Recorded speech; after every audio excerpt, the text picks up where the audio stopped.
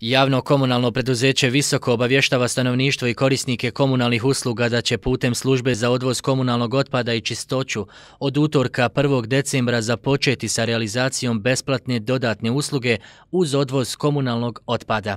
Navedena dodatna usluga se odnosi na odvojeno prikupljanje i odvoz otpada nastalog sagorijevanjem čvrstog goriva, odnosno luga i pepela, u naseljima gdje se odvoz vrši putem kanti zapremine 120 litara.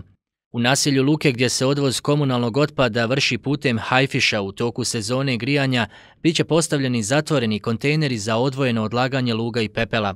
Navedeni zapaljivi otpad korisnici su dužni odložiti u odgovarajuće posude koje će ostaviti pored kanti, kontejnera i svojih kanti u koje svakodnevno odlažu svoj komunalni otpad gdje će odloženi lug uredno biti odvučen kad i ostali komunalni otpad. Prikupljanje i odvoz otpada nastalog sagorjevanjem čvrstog goriva, odnosno luga i pepela na području grada Visokog, realizovat će se po planu i programu za 2020-2021. godinu.